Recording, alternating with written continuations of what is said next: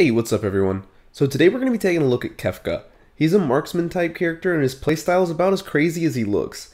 Kefka is a pretty unique character and he can be difficult to play, but seems like a type of character who can be really strong if you master him. Similar to Cloud, his unique ability is that he can charge his attacks, giving them additional properties like increased range if he charges them for long enough. Kefka is able to glide while charging his attacks though, so he doesn't have to worry about being immobile when charging. Instead, his charging is more for mind games and faking out your opponent. He can mix up the timing on everything, and because charging generally increases the range of an attack, it can be really tricky for an opponent to know what to expect out of Kefka. His moveset continues in that vein and includes a Firaga attack that will randomly speed up or slow down and get slightly bigger, a move that spawns a Fake Core that hurts opponents when they get close, and a long range but slow AoE and Ultima. Kefka can also be really strong if he's left alone, as he has a Thundaga attack that shoots out a maximum of 8 mid-range projectiles when fully charged for a lot of damage. Kefka's X skill is pretty unique and can be really strong no matter who your teammates are. It's called Heartless Angel and it can apply up to 6 debuffs on nearby enemies. If you don't charge it at all, you apply Confusion, which is a debuff that reverses movement inputs for 5 seconds, and Silence, which prevents X skill activation for 10 seconds. If you charge the X skill to the next level, you apply two more debuffs Darkness, which just darkens the screen for 10 seconds, and Kappa or Imp status, which reduces attack and defense for 20 seconds. If you charge it a second time, you get the maximum effect from your X skill, applying the two final debuffs.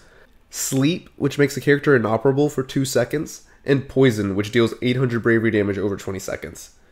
So it's a lot to keep up with all those statuses at once, but basically know that there are three levels to his X skill that you can get to by charging up the attack, and it can get insanely powerful if you can get to this third level, especially getting that sleep debuff.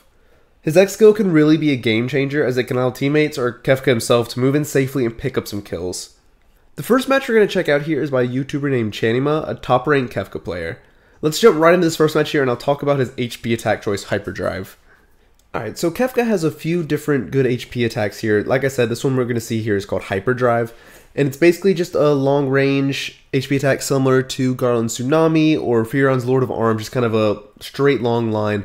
One unique thing about it is that he can charge it like he can with all his bravery attacks, and it's going to increase the range of the attack, so it can be pretty strong. So in this first game, we're going to have Kefka, Cloud, and Tidus going up against Shantotto, Garland, and Lightning. So even teams on both sides, one marksman, one assassin, one vanguard. This map is pretty big and open, so it should be a pretty good match here for Kefka. Alright, so he's going to start off using his common attack there, and actually I'm going to pause real quick and let me just say, I'm probably going to do a couple of pauses in this match just because his Bravery moveset is so unique. I'm going to feel like I'm going to have to explain each one and all the different properties of the attacks. So I'll go ahead and get that out of the way in this first game, and then in the future games we shouldn't have to pause quite as much. So I just want to point out that uh, Meteor attack you kind of see in the distance, it's just a long range um, AoE attack that he can kind of throw out um, to kind of poke at people. It lasts for kind of a long time, so it's a nice move for a long range attack.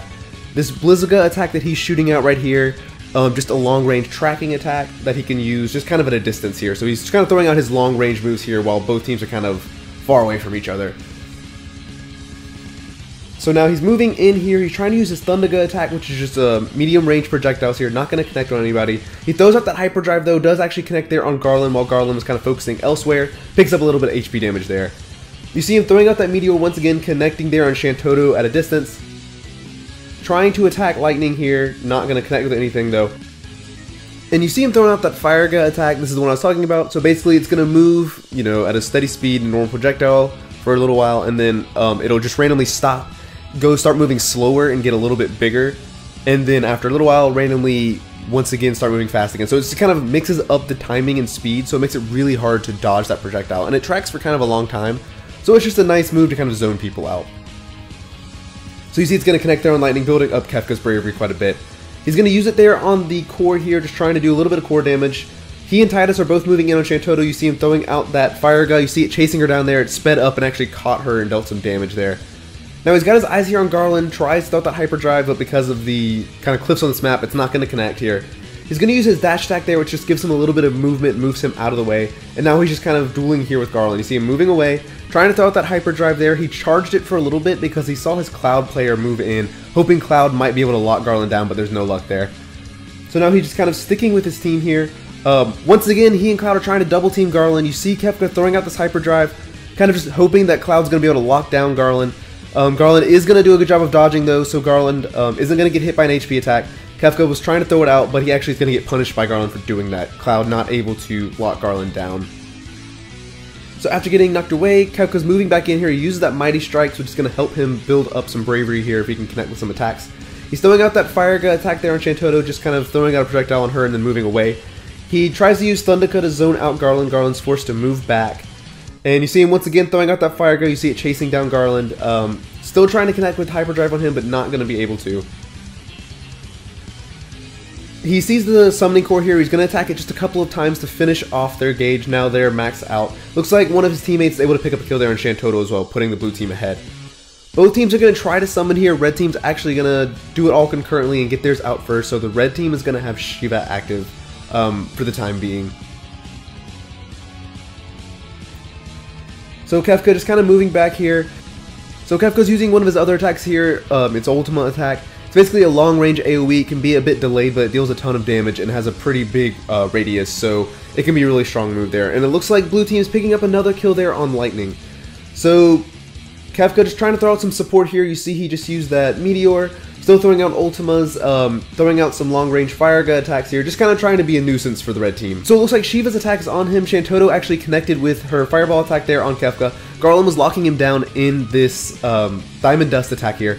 So right when Kefka looks like he's about to get attacked, he's actually going to use his teleport skill to avoid um, this Diamond Dust attack.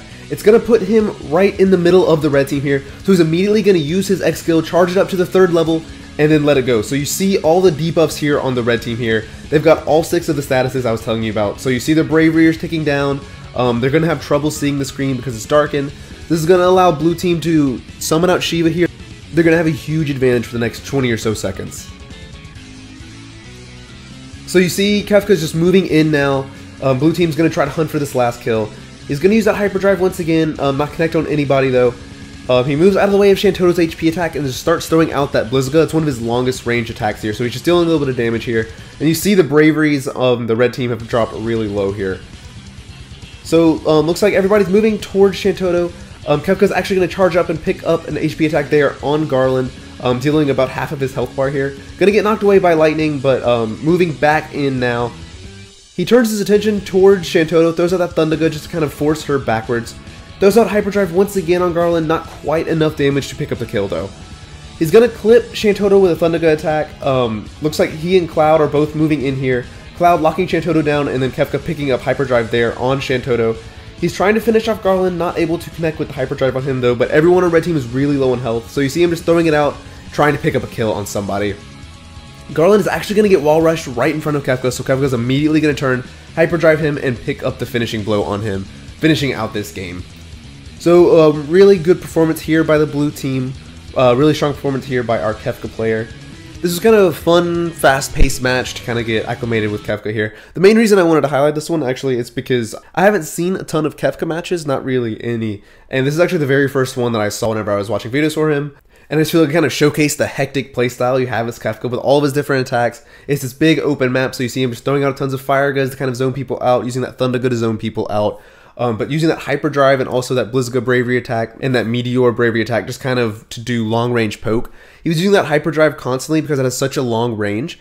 It's a really safe bet to kind of force people to move away or just picking up HP damage. He did a ton of like clipping HP damage where he didn't really pick up kills, but he was dealing, you know, 1500 bravery to HP damage to red team members pretty often. So it's just a nice, quick attack that you can use. Also, you get to see the full extent of that X skill of Kefka's. You saw how, after he got it off, it allowed the blue team to get Shiva active, and then it really just kind of forced the red team into a corner. They were all really low in bravery. Because of those debuffs, they were having a hard time seeing or controlling their characters. So they really were just kind of forced back, had to play super defensively, and blue team's able to just kind of move in as a group, pick them apart, kind of isolate Garland a little bit, and then allow Kefka to pick up that last kill. So really, it's just a great skill to kind of forcibly isolate somebody and just kind of make it difficult for the red team members to help each other out. So yeah, just a really fun match here to kind of give you an idea of how Kefka plays.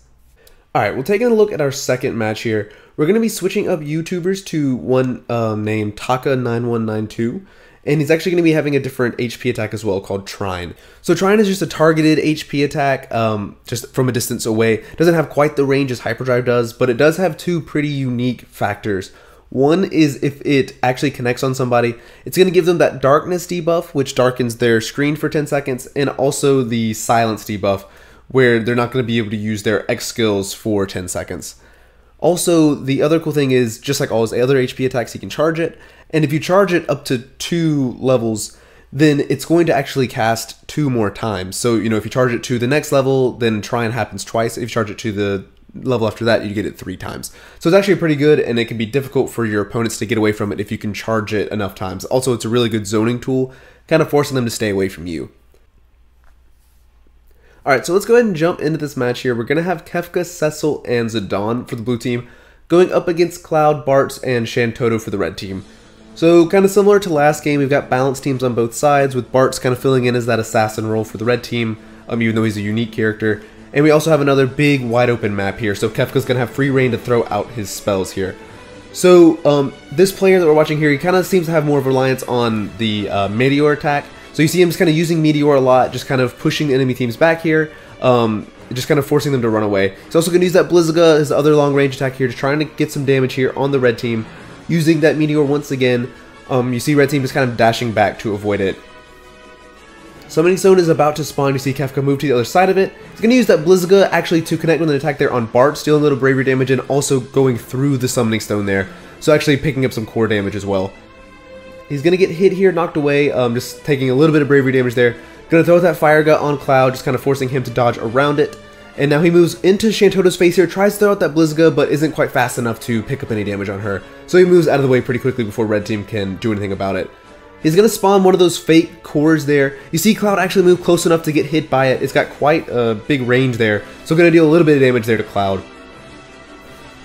So the Summoning Stone is spawning once again. You see Kefka throwing at that Blizzaga around it. That's a pretty good way to deal Summoning Core damage, but also kind of poke at enemies that are close to you. So now he's just kind of moving away from Shantotto's attack there. He's got a lot of bravery built up. So you see him use that Trine actually immediately picking up some HP damage there on Bartz, dealing a ton of damage there to him. He's going to throw that Thundaga there on Cloud, just dealing a little bit of damage here. He's going to shield Bartz's attack here, trying to move out of the way. He's going to take a little bit of HP damage there, though. Shantotto is able to actually pick up um, a hit there on him, but nothing too significant.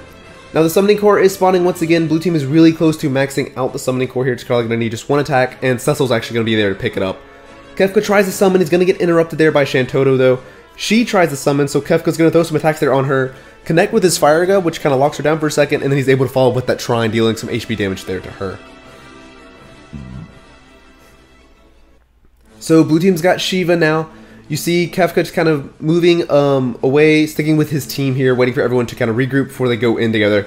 And so now you see him kind of eyeing Shantotto.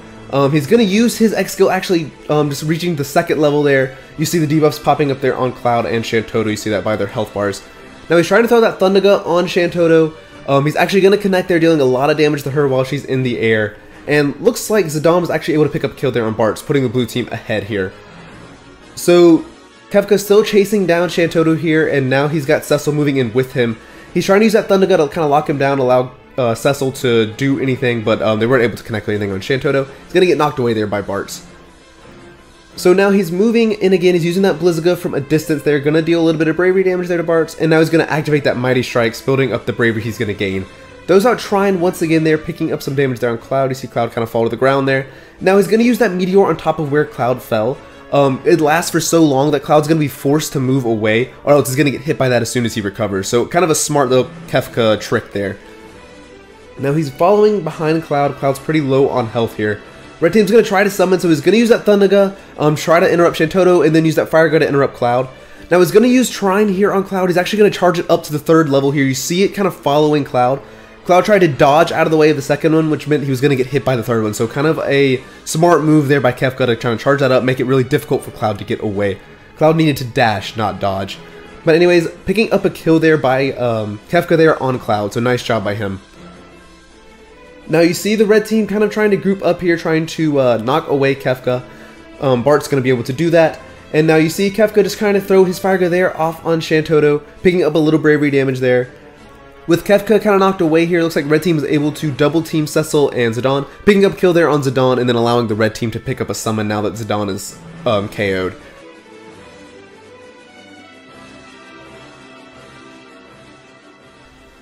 Kefka trying to throw out that Trine once again, not able to connect there on Shantotto as she's able to glide away from um, it with her attacks. He's going to keep throwing it out though, you see he tried to pick up a kill there, but the range of it is so short, not really able to connect with anybody. He's trying to stay far enough away from Shiva's attack so he doesn't get hit by anything, but it looks like Cecil's actually going to be able to pick up a kill there on Bartz, finishing this game off. So, um, great play here by Kefka, really just kind of showcasing this Trine attack, and also just another match to showcase his bravery attacks here, this big wide open map, uh, making it really easy to connect with some of his fire attacks, um, because there's no cliffs or anything to really get in the way of that. Um, a great map here for Meteor because it's so flat, so it's able to just kind of cover a lot of ground, and just kind of zone enemies out. It'll also last for a really long time, so you saw how useful that was, uh, even though it didn't really connect on Cloud when he was knocked down, but the potential for that, and if Cloud, um, you know, stuck around for too long, he would have gotten hit, and it kind of forced him to have to move away in that one instance, so it's kind of a smart little move there by Kefka. But it also was the perfect way to show you the uh, the way that charging Trine can be really effective. How he was able to connect with Cloud with Trine to pick up that second kill, just because of the fact that he charged it and because it had those three iterations of Trine. So really just kind of smart move there and a cool little HP attack. Alright, so for our last matchup here, we're going to be switching back to our YouTuber Chanima and using that same HP attack that he was using originally, which is that hyperdrive, that long range um, kind of wave attack. So his team here is going to be Kefka, Cloud, and Lightning. And they are going up against, let's see, Ultimecia, Cloud, and Kain. Alright, so once again, pretty balanced teams here. Um, one thing to note, all six of these characters have really strong projectiles. Lightning's got that Ravager form, um, Kain's got that Tornado, which uh, just connected there on Kefka. So everyone's going to have to be pretty careful here, just kind of throwing out long-range poke. You see Kefka not trying to get too close to anybody. He's really kind of focusing on using that uh, really long-range Ultima attack that he has. Also throwing out that Firaga. Um, you see he connected there on Cloud doing a little bit of damage there. And throwing out that Blizzaga attack as well. Um, he's going to drop that core down just in case someone comes close to him. You see him constantly gliding around though, trying to avoid Ultimecia's long range attacks. You'll see those kind of clouds of arrows, one just kind of popped up right in front of him. That's from Ultimecia, so he's trying to kind of stay mobile and avoid those attacks. He does actually get caught by Ultimecia right there, takes a little bit of bravery damage. So, um, still kind of doing that same thing though, you see the blue team's all really kind of sticking together here and Kefka just throwing out those long-range zoning tools. Looks like Kain has kind of moved into the backline here. He gets kind of close to Kefka. Kefka throws out that fake core just in case uh, Kain was going to move in, but he actually gets caught by Kain's um, Cyclone there. He's to throw out Hyperdrive, actually connect on Ultimecia for a little bit of damage, but it does reset his Bravery back to a 1,000, so that's kind of the goal he was going for there, I think. His Firaga attack is going to connect, build up his bravery by uh, about 900. He's to throw out that hyperdrive once again, kind of connect on Cloud from way above. It has a pretty good vertical hitbox, so he actually was able to um, connect with Cloud even though you couldn't really see him. You see him throw out hyperdrive once again, trying to connect on Ultimecia. He built up his bravery pretty high after using Mighty Strikes and hitting with a couple bravery attacks. So now he's trying to kind of expend that and use it on the red team. They are going to be able to back away though, use Shiva, so Kefka's going to have to be a little more defensive instead of just kind of rushing in. You'll probably see him moving away, uh, like you see him doing right now, kind of trying to regroup back over to the right here with his team, and just kind of throwing out some long-range hyperdrives here, not trying to get too close and kind of allow himself to get opened up by any of those quick characters like Kain. Now once again, trying to outrange Ultimecia's attacks there, you see she's trying to hit on him with that um, arrow attack, but um, it's not able to connect. Now Kefka is just trying to stay mobile here, he's going to throw out hyperdrive once again, not going to connect on anybody though, and now Diamond Dust is about to hit, so you see him trying to move out of the way, um, Kefka's a pretty slow character though, so he's going to use that teleportability just like we saw in the first game just to get out of danger there. So now he's going to move away. He's actually going to use his X skill here, but nobody's really in range. He does connect um, that second level there on Cloud, um, but he was the only one. Now you see Cloud pretty disoriented here. Kefka's actually going to be able to hit him with that hyperdrive while Cloud had all those status effects on there, definitely making it a little easier for Kefka to connect with that attack, and um, putting the blue team ahead here. Now Kefka's just trying to move out of the way. All three members of the red team are targeting him. You saw him use that dash attack to get some mobility, and then he's kind of sat in his shield, just kind of waiting for an opportunity to move away. So you see him doing that now. The blue team is all kind of backed up and tried to use their summon, so now they're going to have Shiva, and we'll be able to see Kefka go a little bit more offensive this time. So he's going to use that Blizzaga, just kind of poking at um, a long range here while Shiva starts up her attack animations. And now uh, you see Cloud kind of looking at him. Kefka's moving away. He's going to connect with a bravery attack there, building up some of his bravery. um, kind of trading with an attack there. Uh, looks like he's trying to use that Thundaga there on Ultimecia, dealing a ton of damage to her, actually building up his bravery quite a bit. He's going to throw out Hyperdrive immediately. Um, Ultimecia's going to be able to dodge out of the way of it, though. And looks like he's going to connect with that Firaga there on Ultimecia, once again building up his bravery a lot. He's pretty much at lethal range now. He's going to throw out Hyperdrive here. Um, not going to connect on anybody, though. Um, looks like Red Team's going to pick up a kill there on Cloud. So Kefka's going to play a little safer here since it's a 2v3 right now. Um, Cloud does respawn though, so you see everyone just kind of grouping up. He uses Mighty Strikes while his teammates are near him, so they all get the buff. Connects with Firaga once again, building up his bravery back into lethal range. And now he's going to throw out Hyperdrive, just trying to use up that bravery. Um, not going to quite connect with it just yet. Trying to dodge Ultimecia's um, strafe attack there. You saw him kind of moving off to the side here. Kain's kind of isolating himself behind the blue team. It's not going to matter though. Looks like red team's regrouping up though, and while they do that, Kefka throws out that X skill once again, is going to get level 2 there off on Cloud and Ultimecia. So now he gets knocked away there by Cloud though. Um, going to try and throw out some Thundagas using that Firaga there on Ultimecia. Um, you see it chasing her down. While that's happening, he throws out Thundaga, just building up a ton of bravery off on her. Um, he's trying to make something happen here on Kain. He's got so much bravery. Looks like Kefka's charging up that hyperdrive. Cloud was chasing after him. Looks like Cloud couldn't really quite tell that Kefka was charging his HP attack. So actually able to pick up a quick kill there on Cloud, putting the blue team ahead once again. Now he and Cloud are trying to double team Ultimecia here. He connected with an Ultima there, building up his bravery a little bit. He's gonna throw out Hyperdrive, picking up some pretty big damage there on Cloud, dropping him under uh, 1000 health already. Gonna charge up that Hyperdrive once again, actually throw it out and pick up a kill there, this time on Kain. Finishing him off and picking up the victory there for his team. So some really good snipes there with that Hyperdrive. You saw him using it quite a lot because it's really, you know, it's not that um, punishing to use because you can glide around while you're using it, so you're not really locked in position. So you're kind of free to just throw it out, hope it can connect, and try to pick up kills with that. So really nice play there by our Kefka player. Had a huge score here. He dealt a lot of damage, HP, and bravery. Um, you saw him kind of connecting with a lot of different bravery attacks and throwing out that mighty strikes as well, um, allowing him to buff up his damage and just kind of dropping a ton of damage there off on the enemy team. Definitely a good showcase of what Kefka can do. You saw kind of all of the different elements that he has, kind of charging up his HP attack and being really tricky with the mind game and the timing of that. Um, and not just the HP attack, but all of his bravery attacks as well.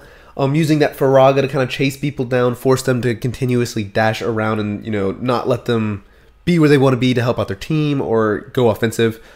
You also saw him connect with that X skill a couple of times. The first time he was only able to connect with the Cloud, but that was enough to pick up a kill on Cloud as, you know, Cloud's movement was kind of screwed up. His screen was darkened, so you saw him just kind of sitting in his shield, not really sure what to do. And Kefka was able to pick up a hyperdrive kill on him. So definitely some really good play here by our Kefka player. So like I said kind of at the beginning of the video, I don't think Kefka particularly fits in any specific team comp, at least um, not right now, just because he's kind of out of the box um, when compared to a lot of other characters because his timings are really tricky and the fact that his X skill really benefits anybody on his team. You know, it's really just a lockdown on the opponents, not really any specific synergy with his allies. So you can definitely fit him in as a marksman character on, you know, a lot of different varieties of teams. He definitely packs a lot of punch, and he can kind of take care of himself a little bit better than some other marksman characters just because some of his attacks are pretty quick. He's got that uh, fake core tag, which works as a trap. If anyone gets too close to it, they get knocked away. And he's got that dash tag, which gives him a little extra mobility. He seems like a tough character to master. It's kind of easy watching um, really good players play him. But you can tell that knowing his timings and knowing which attacks to use at any given time and how long you want to charge them up is definitely important to being a successful Kefka, and learning that will take some experience for sure. Also, knowing when to use his X skill, you saw our player here really utilizing that teleport into X skill um, ability a lot, just because using that teleport gives you a little bit of invulnerability. People kind of don't know you're coming, so that will allow you to kind of get in the middle of everybody. As soon as they see you're trying to use your X skill, they want to try to get away, so they're not really going to be able to interrupt you. Um, so it's just kind of a, a kind of a mix up there. It kind of really depends, but that's definitely a good way to get in the enemy group. So hopefully that gives you a brief overview of your favorite clown here. Seems like a pretty good character, definitely a tough character to learn, like I said, but um, can definitely be strong in the right hands. I really like his move set. It's pretty unique. It has a lot of different options. I definitely like his HP attacks as well. Trine seems like it's a really good mix-up attack and just a really strong HP attack in general. So yeah, definitely think he's a good character. Definitely check out more videos of him. I've got um, our two YouTubers that we followed today. Got their channels linked down below in the description, so definitely check them out if you want to see some more Kefka action. They've got quite a few different videos of him. Alright, so thank you guys for watching. We're getting pretty low on the character list now that I haven't already commentated on. I'm probably going to do Exdeath next just because, you know, kind of going in order now. Um, I try to do Jecht after that and then Ultimecia. So we will see if there's enough videos out there enough for, you know, Ultimecia and Jecht by that point so I can show some high level gameplay of them. Otherwise, I might have to wait a couple weeks before I do those. But we will see, and I'll definitely have Exdeath coming out next Friday, so stay tuned for that. Alright, see you guys later and have a good one.